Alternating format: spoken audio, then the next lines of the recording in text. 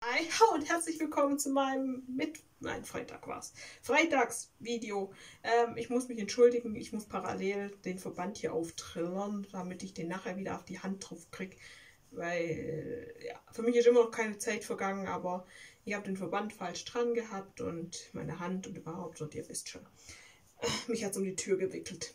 Ihr wisst ja noch. ja, auf jeden Fall. Ich habe euch heute mal wieder eine Geschichte aus meinem Leben Geschichten aus dem Leben von Elena. Es gab mal diese Serie, die ist Geschichten aus der Gruft, weißt du noch? Mhm. Könnte man auch meine Lebensgeschichte so nennen, Geschichten aus der, aus der Zimmergruft. Ja, auf jeden Fall. Erstens, wie ihr seht, man kann mit einer Hand, wenn man echt langsam nach so, nach so drei Wochen kriegt man richtig Übung, da kriegt man fast alles mit einer Hand hin. Das ist echt beeindruckend. Aber das ist jetzt nicht wichtig, sondern ich wollte euch eine Geschichte erzählen. Ich war mit meiner Mutter vor einiger Zeit einkaufen. Ich weiß nicht mehr, wann es war, entschuldigt. Ähm, ich glaube, vorletzte Woche, ne? oder letzte? Keine Ahnung, was du erzählt hast. Ja, die, die Sushi-Geschichte. Ja, letzte Woche. Letzte Woche. Ja, voll geil. Ja, Mann, Mama. Ich habe ein bisschen mehr Empathie für das Sushi. Ja, auf jeden Fall ähm, war es dann so, dass ich dann beim Edeka Nori-Blätter entdeckt habe. Und die habe ich dann halt so gesehen und habe gedacht, ah, und dann habe ich die irgendwie in dem Moment in meinen Korb reingepackt und auch bezahlt und alles, aber habe dann voll verpeilt, dass ich die überhaupt gekauft habe erstmal. Und dann war ich zu Hause. Dann habe ich die ausgepackt und habe so gedacht, oh, okay. Dann habe ich mir, dann habe ich äh, überlegt, okay, was mache ich jetzt damit? Und dann war die Entscheidung eigentlich recht schnell getroffen. Ich mache Sushi. Also, ich fix meiner Zweitmutter bei Bett geschrieben, Mami, machen wir Sushi. und wir haben dann am Telefon ewig überlegt, wie wir das machen. Haben überlegt, ob wir uns ein Sushi-Set kaufen. Dann waren wir irgendwann am Punkt, wo wir gesagt haben, okay, wir kaufen uns ein Sushi-Set. Aber das Problem am Sushi-Set war halt, ähm, dass das erst in drei Wochen angekommen wäre. Nee, ich glaube sogar noch länger, ne? In drei Monaten war es. Drei Monate, nicht drei Wochen, drei Monate waren es. So war es. Ja, Mensch, hör auf, Mama. Das ist auf jeden Fall. Haben wir dann aber gesagt, okay, wir wollen es trotzdem probieren und wir gehen halt in den Tina-Laden bei uns in der Stadt. Und da sind wir dann hingegangen und haben dann da eine sehr gute Beratung bekommen. Das war echt top. Ich kann ihn nur weiterempfehlen. Das war das passiert immer wieder, wenn ich die Geschichte erzähle. Oh, Sekunde. Okay, ich kann wieder weiter.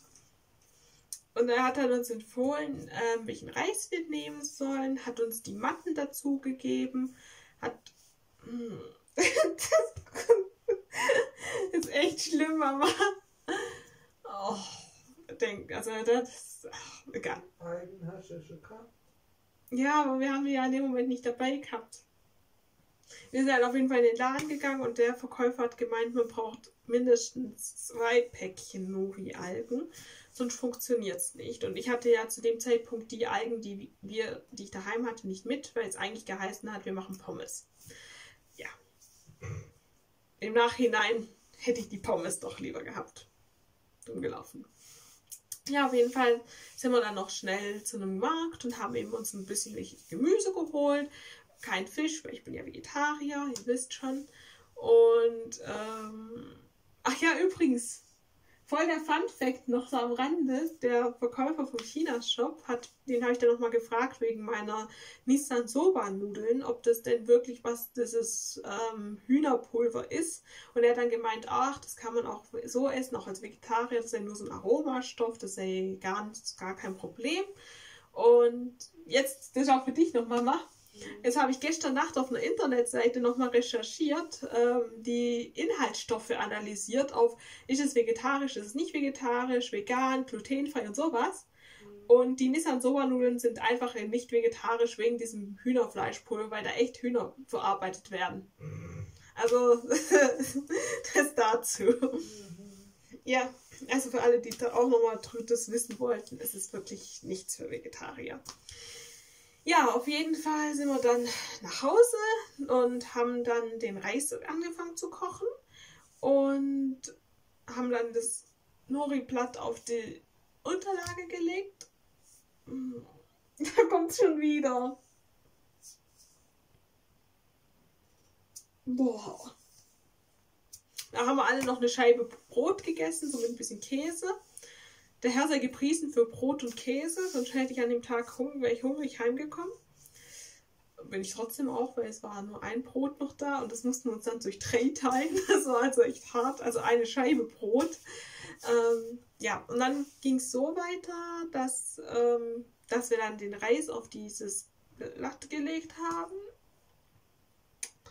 Oh, es ist echt jedes Mal. Ja, ja. Nein, ich zieh's jetzt durch. Für die Zuschauer, für Braiska. Das war jetzt mein He-Man-Moment. Kennt noch den Masters of the Universe? Ah, wieso habe ich zurzeit so komische Gedankengänge? Ja, stress mich nicht. Ich bin kein D-Zug. Ich bin nur, ich bin nur, ich habe nur eine sehr schnelle Gosch, aber so schnell auch nicht. Okay, also auf jeden Fall haben wir dann ähm, das Gemüse in das, auf den Reis gelegt und haben es dann eingerollt. Und wir haben uns richtig wunderschön ähm, dazu noch habe ich einen Oolong-Tee gekauft. Sehr japanisch. Nee, ist chinesisch, aber egal. Sehr geschmackvoll und den haben wir dann auch noch so gemacht und haben den halt ziehen lassen und alles und ja. Und dann haben wir das Sushi probiert und ich sag euch, in meinem ganzen Leben habe ich noch nie sowas Widerwärtiges gegessen. Ich weiß nicht, ob es an Sushi an sich liegt oder so, aber diese Algen, es hat nur nach Alge geschmeckt. Man hat nichts anderes geschmeckt. Und die Alge war so eine Mischung aus Ledersocke, Kaugummi, äh, Spinat zwischen den Zähnen und fauligem alten Schuh. Ja doch, das trifft echt gut. Das war eine gute Beschreibung, oder? Wie oft isst du faulige alte Schuhe? Wenn du kochst jeden Tag. Die Vorlage hätte ich mir, die musst du gut überlegen. Also, man, kann, man hatte schon mal an so einem Schuh gerochen. Und man hat, wenn man da dran riecht, hat man nur richtig schönes Aroma im Mund. So meine ich jetzt das. Und nein, die Nudis sind trotzdem supi. Habe ich mich irgendwie, habe ich den Kopf aus der Schlinge? Hm, ich habe es befürchtet. Aber ich die Vorlage, die hast du mir jetzt gerade Ja, gegeben.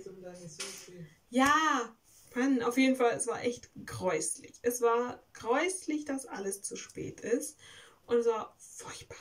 Und dann haben wir nochmal versucht, und zwar ohne das Nori-Blatt, nur den Reis und die Füllung.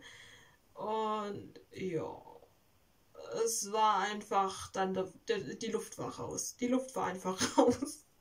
Das hat man auch nicht viel besser runterbekommen. Ich habe dann auch alles, was man dafür braucht, mit nach Hause bekommen. Also. Und als ich dann hat, also die Nori-Blätter haben wir dann direkt weggeschmissen und ich habe die, die ich zu Hause hatte, auch weggeschmissen, weil es einfach nicht gegangen ist. Es ging nicht. Und es ist ja nicht so, dass ich sage, dass Sushi an sich schlecht ist. Aber das, was wir probiert haben, mit den Blättern, die wir probiert haben, war einfach nicht gut. Und ich kann mir gut vorstellen, dass es sehr gutes Sushi gibt.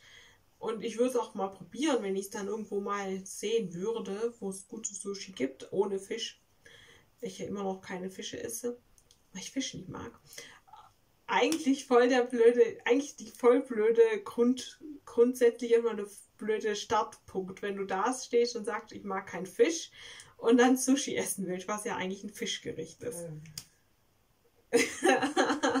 Fällt mir jetzt gerade erst so auf. Ja, kann ich was für. Wahrscheinlich hätten die, hätte die Algen auch gar nicht so intensiv geschmeckt, wenn der Fisch drauf gewesen wäre. So, also auf jeden Fall, es war furchtbar, es war grauenhaft. Wir haben uns dann irgendwie auch noch den Magen dran verdorben und sind dann da zu dritt gelegen und hatten Magenkrämpfe. Und es war auf jeden Fall übel. Das kann ich nicht weiterempfehlen. Und ich werde jetzt mein Video hier beenden, weil ich habe das Gefühl, dass ich jetzt gleich wieder, was das Sushi gerade nochmal wiederkommt.